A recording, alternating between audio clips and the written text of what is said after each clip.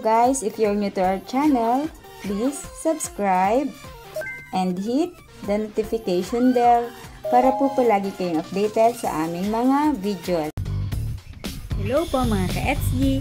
In our today's vlog, isi-share ko po sa inyo ang procedure on how we grow our lettuce sa aming pong roof deck from day 1 to harvest time.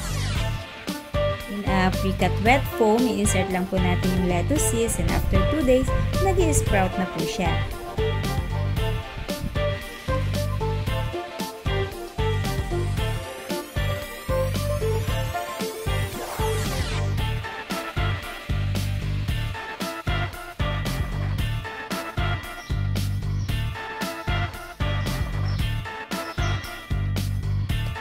7th day, pwede na po natin siyang i-transfer on its individual cup.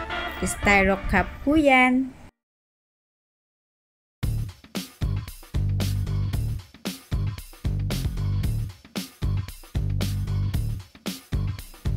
Make sure lang po na i-maintain po natin na laging may water po yung ating mga cylinder.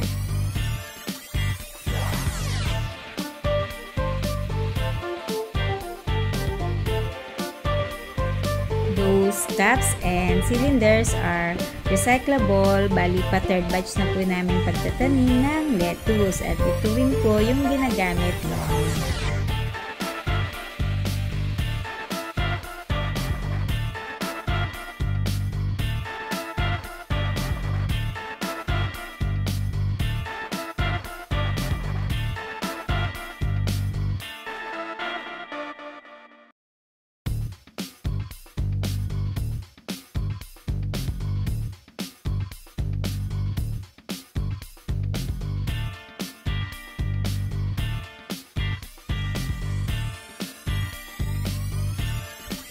Ito pa rin po yung PVC pipes na uh, ah, DIY. 7 inches in between po yung holes niya. Uh, nga po pala yung water, uh, nagmimix po yung mister ko ng Nutri Solution. You can check in our previous vlog yung about plants po sa aming roof deck.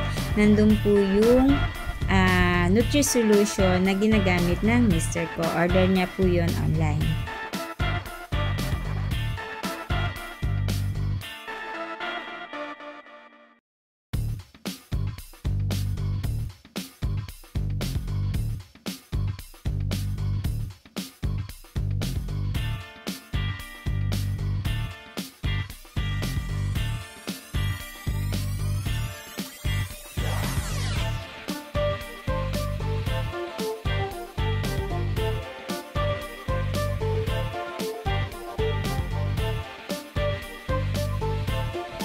Day 14, nakita naman po natin kung gaano na ang naging improvement or growth ng ating lettuce. It's day 23.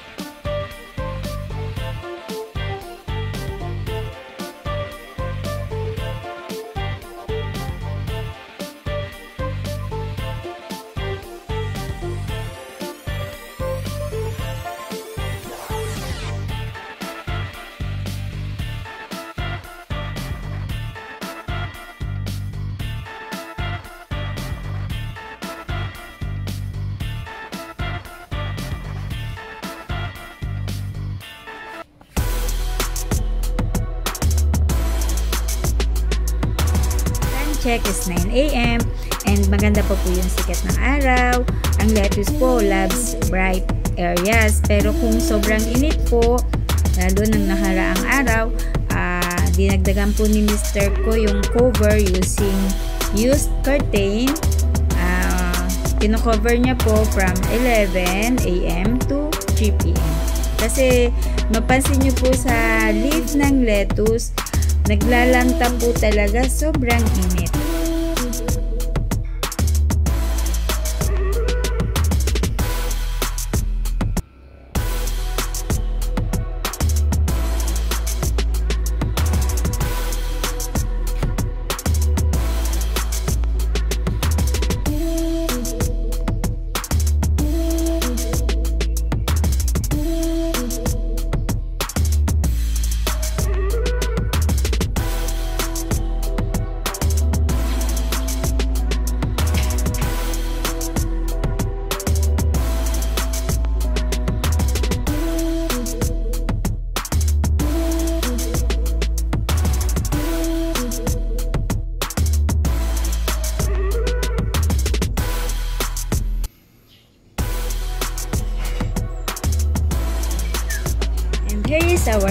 Lettuce on its 37th day.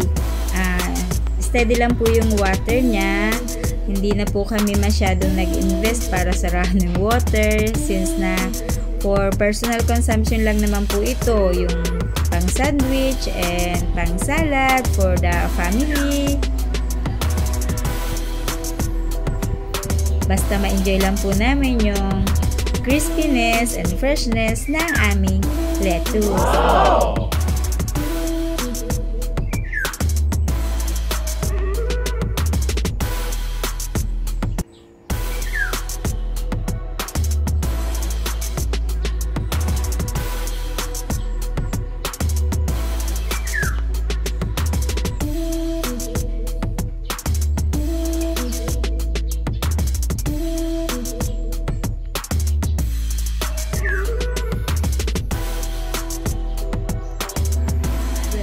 This video para po magkaroon kayo ng ideas para lalo na po dun sa mga uh, maliliit lang yung space para magtanim.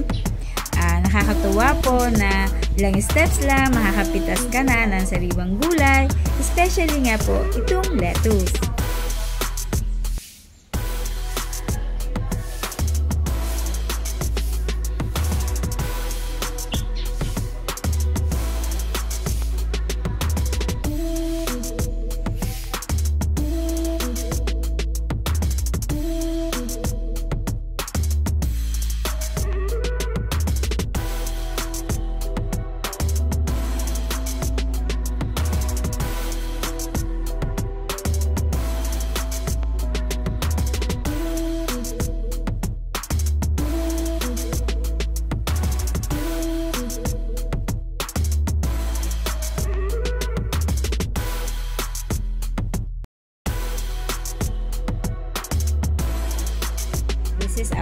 Usual breakfast.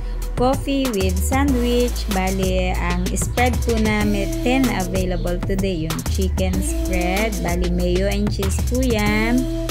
At, syempre, since may hamang po tayo sa lettuce, maraming uh, lettuce leaves po ang isasama natin sa ating sandwich.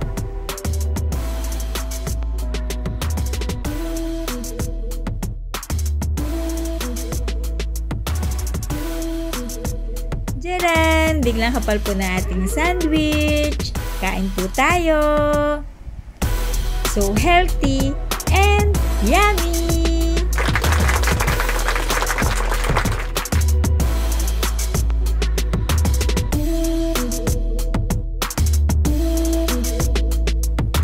Hindi man po ganun ka-organize yung ating uh, roof deck. Napakarami pong iba't ibang tanim ang nandito. Actually, sampayan po namin yan. Pero since yung mga floor po, nalalagyan nga namin ng mga recyclables, pwede po magtanim ng sari-saring gulay.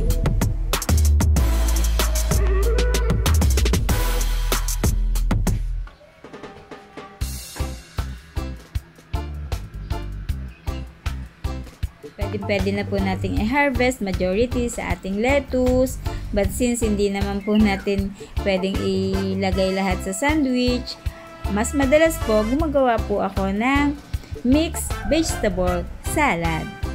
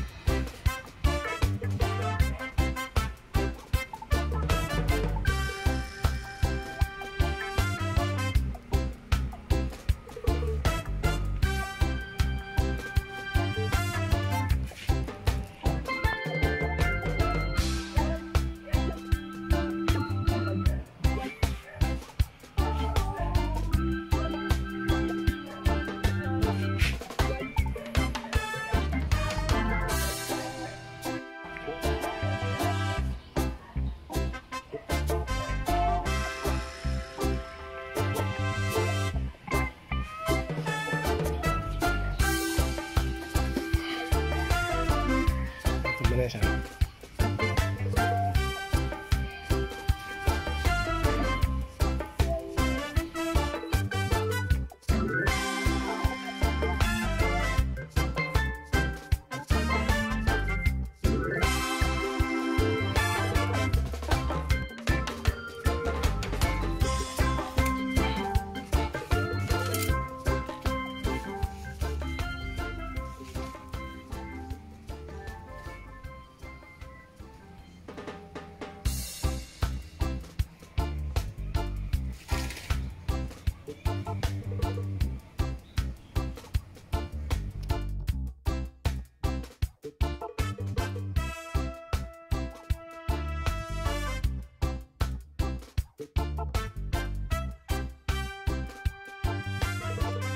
I hope may mga natututunan po kayo sa aming mga videos. And thank you for watching. Sa aming po mga subscribers, thank you very much. So, sa mga hindi pa po nag-subscribe, subscribe na po.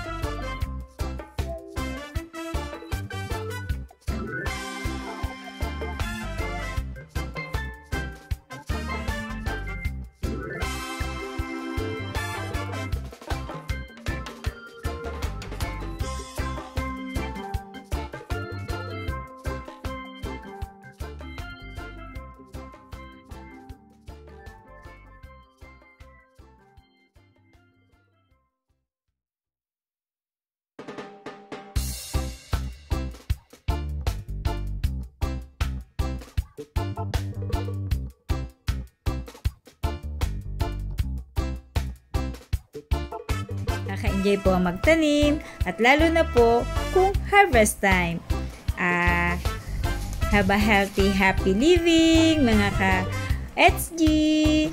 Thank you for watching. God bless!